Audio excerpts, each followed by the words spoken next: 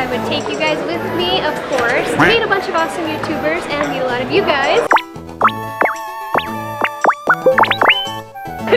and I'm gonna go walk around the show and of course the most important part is show you guys some amazing animals. Pretty much anything you want to find is gonna be at Tinley. So, what do you say? Let's go.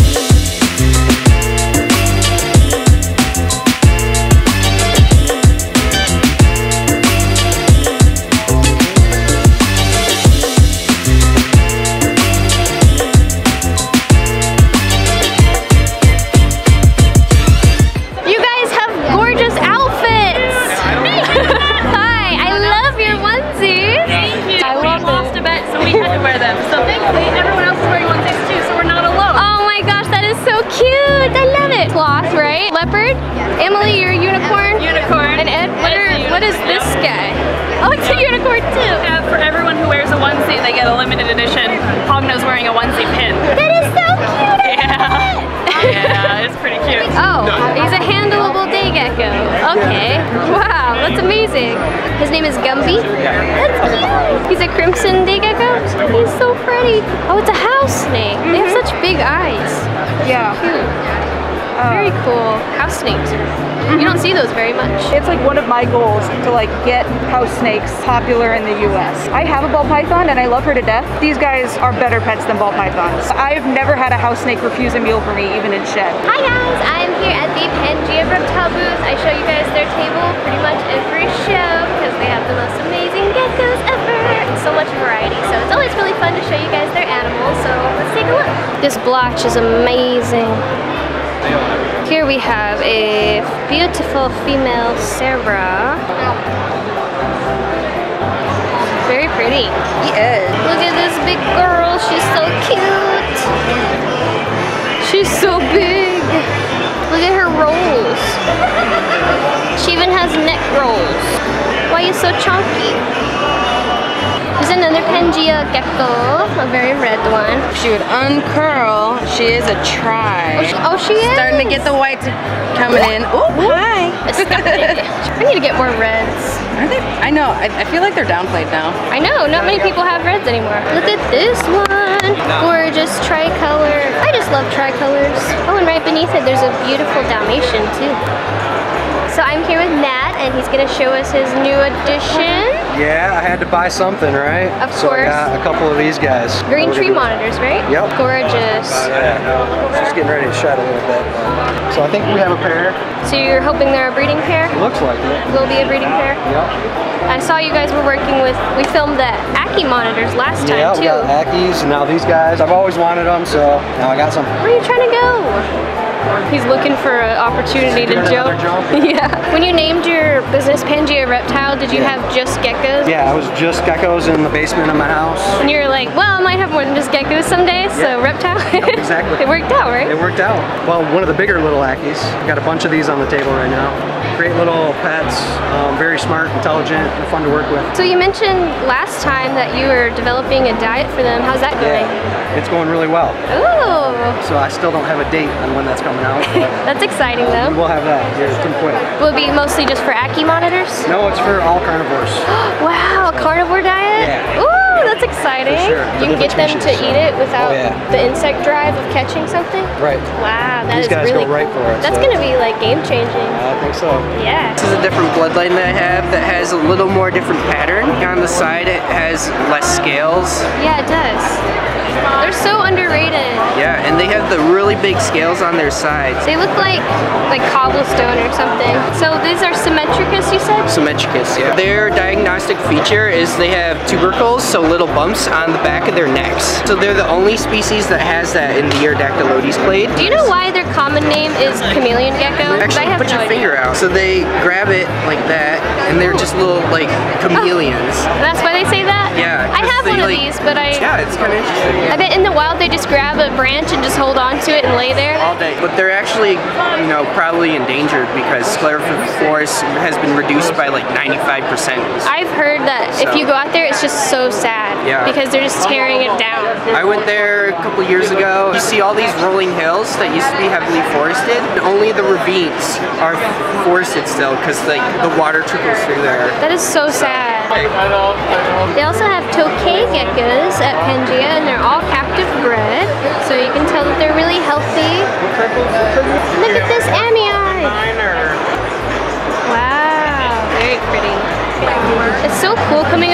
looking at their stuff because they have so many in one place and it's like every color and every pattern of crested gecko is so cool.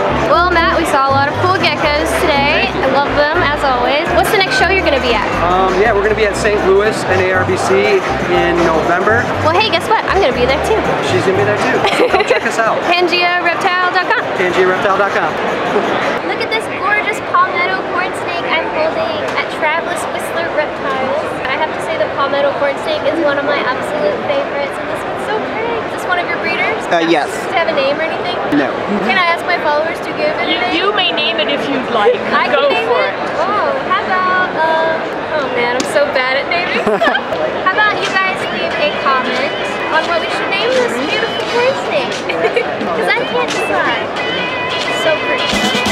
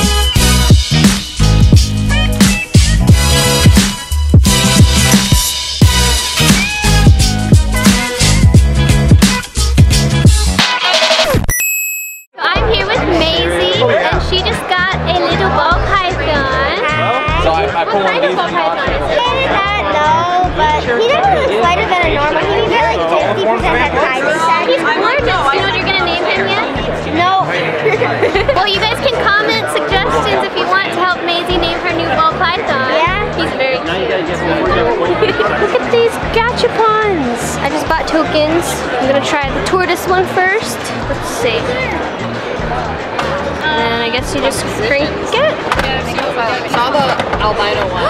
Ooh. The jaw moves and everything. Oh, that's so cool. Oh, Yeah, because these Which one do you guys so want? You guys want? You already have ice over oh, there. Come on. That's a normal one. Dang it, I wanted a zebra one. Let's see. Cute. Oh, that is so pretty too. It's like pink. Neon. Let's get a mouse, we can get a good An albino hilbertensis. Knobtail. Man. Yeah, you definitely have like the nicest knobtails that I've ever seen. wow. Gorgeous. It's an asper. Oh, it's an asper. You don't see these very much, do you? No. They're a rough knobtail related to the amyae. They're pretty pretty close cousins, but I'd say that they're definitely distinct species. Yeah. They stay a little bit smaller, darker, obvious. What do you sell this one for? Uh, they're 5,000 a pair. This is from some that I got in from Europe. It's like much more orange than the other one. It's crazy how they're so like how they can vary so much. That's why I like them so much. Beautiful. So pretty. Chase is here and he bought a bunch of stuff and he's gonna show us up. Oh my gosh, these little newts. What species are these? Cute. So these are Lissotriton vulgaris. These are Neurergus crocatus. What? I love their spots. Yeah, isn't that cool? Cute. Oh, and there's a frog here. It's just a regular wax monkey, not a giant wax monkey. Ah, okay. Phyllomedusa sauvagii. What's your favorite tree frog? Crucio hylograss The Amazon French leaf frog. Ah, my favorite too. These are Triturus carnifex, Oh, their tails are amazing. aren't they? Their little eyes. So cool how you were able to get these and now you can start working with them. Exactly. Now we can start bringing these out. Very, very, very rare. Regular carnifex, How big do these get? six or seven inches. Oh. So these are all babies. Yeah. You tiny ones. Oh, Oh, these are the pygmaeus. wait, where are they? Yeah. Oh my gosh, I didn't even see it. He was blending in. They're basically a tiny marmoratus. Yep. Which is exciting. Well, it's the end of the first day almost. I'm about to go down to the auction. It starts in like 30 minutes. It all goes to USARK and benefits us as reptile keepers. So yeah, see you at the auction. I don't know why I didn't think of this. This is the 20th anniversary for NARBC. 20th anniversary! This is a very special one. Through NARBC shows at the US over $2.5 million. I mean, obviously Bob and I put a lot of work into the shows, but vendors are what makes the shows. What makes Hi, the guys. Thank you so much. To the sold to the bald man with the glasses. sitting in Female. I'm gonna zoom in on Square tip. everybody. Started out at a hundred bucks. What is You get What was that?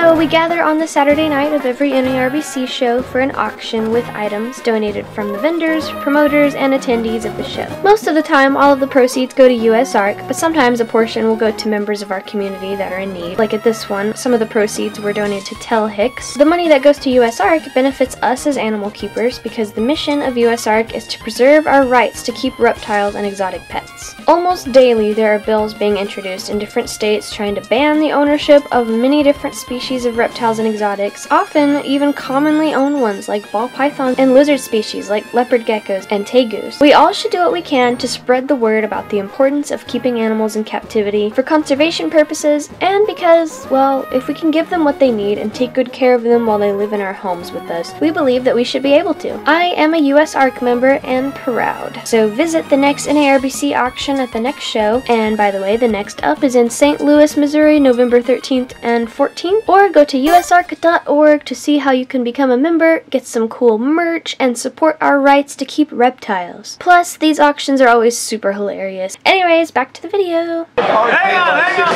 625. It was a male, right, Dave? Female. It's a female? That's a female. 700 right there, 700 right there, 800 right there, 850 right there, 900 right here, 1,000 back there, 1,100. 1,200 all the way. Adeline's been doing a lot of the artwork on the t-shirts, obviously. 4,000 sold. Chris, these servants, thank you very much. Thanks to Phil, thanks to everybody donated, came out. Thanks for hanging tight, guys. Thank you. Thank you, Bob, for everything you did for USR. Thanks, everybody who donated.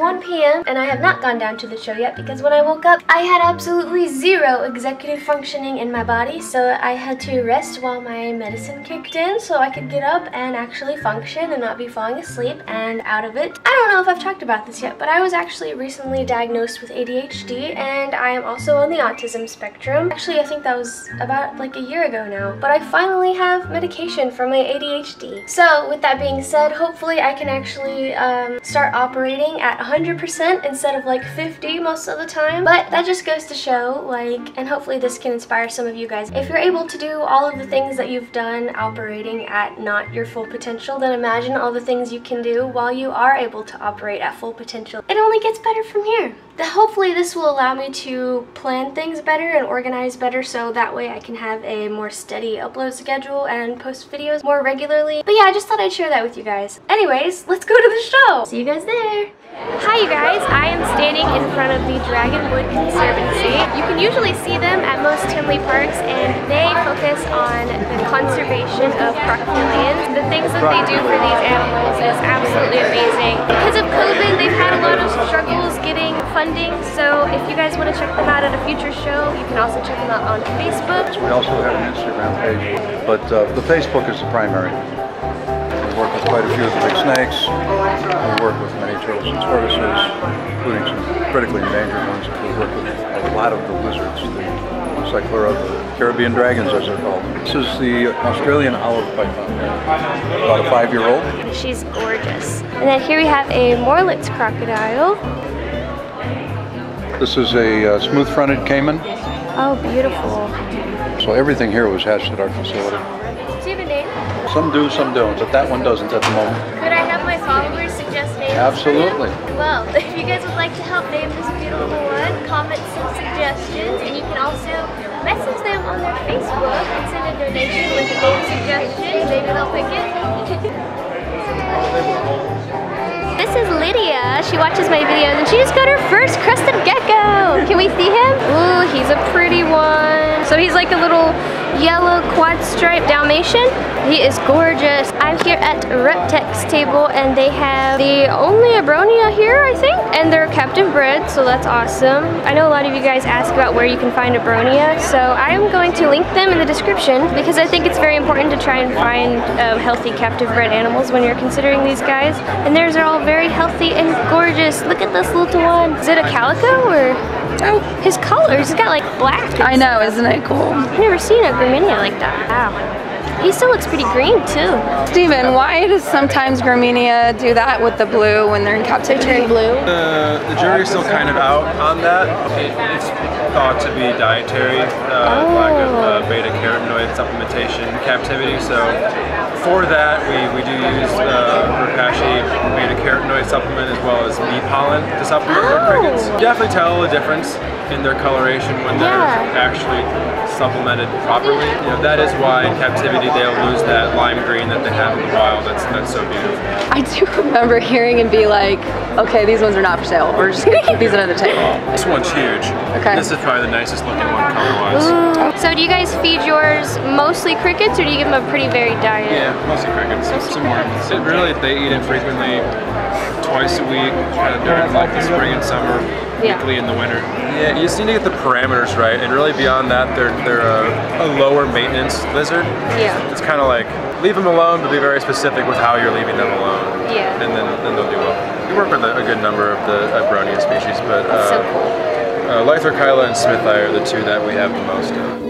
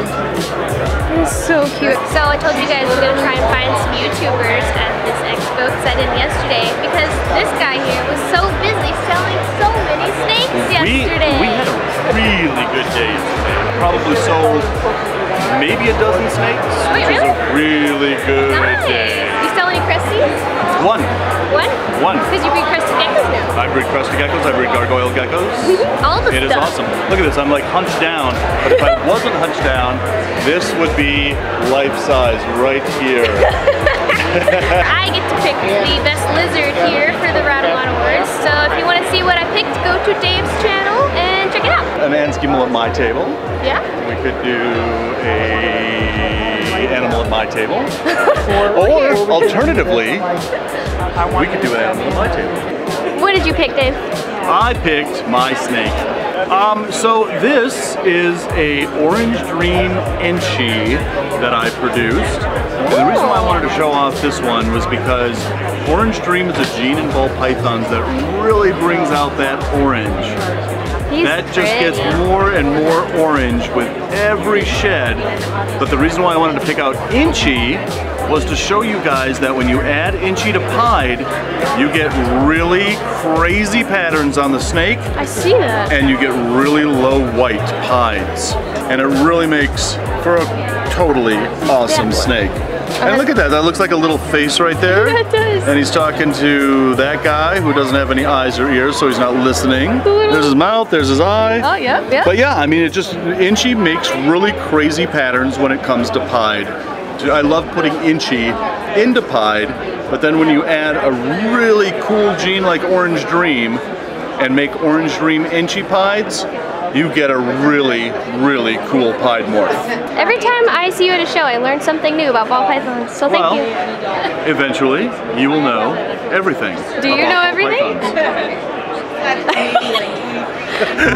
You said this is named Miss Piggy? This is Miss Piggy, yeah. She got her tail slammed as a baby and then it curled up like this for some reason. Oh, it's all wavy. I actually have a snake named Miss Piggy too. It's an albino garter snake. Oh, no way. Is she a piggy also? Yeah, oh yeah. well, I mean, she's a little chubby. You She fits see. her name? Yeah, we don't we don't talk about it though. She's sensitive. You want to see something cool, super cool? Yeah.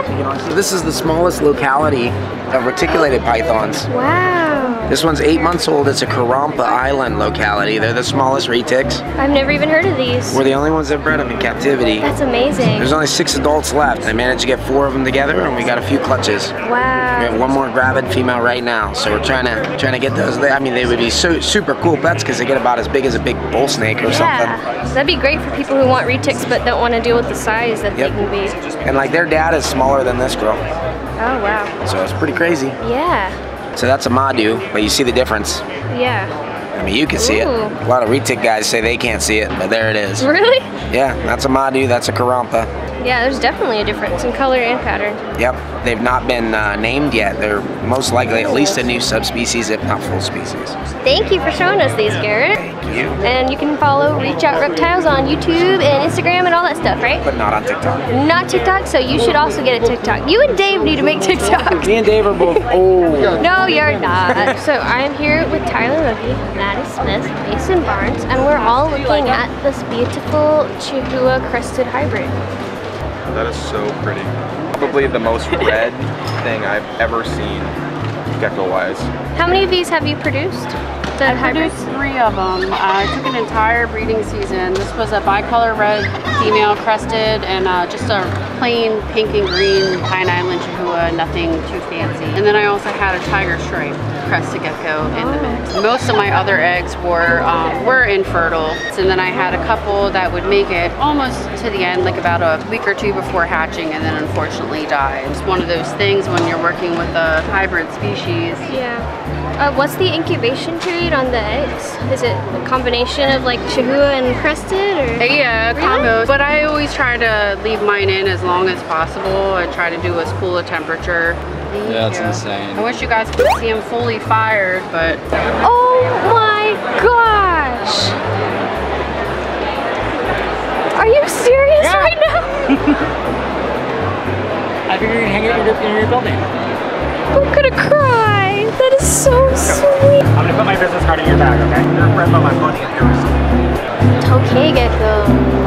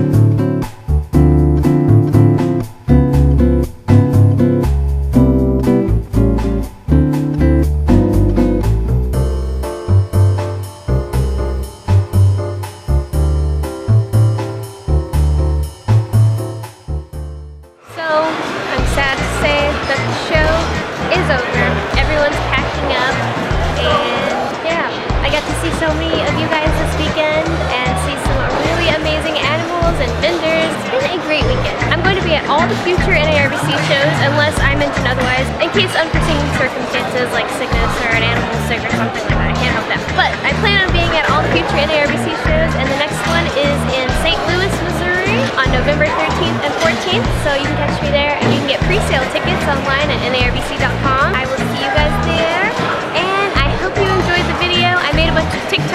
weekend as well, and I also made a TikTok page for NARBCs at NARBC underscore reptile expos on TikTok, so go check that out, and I'll see you guys in my next video. I hope you guys liked it.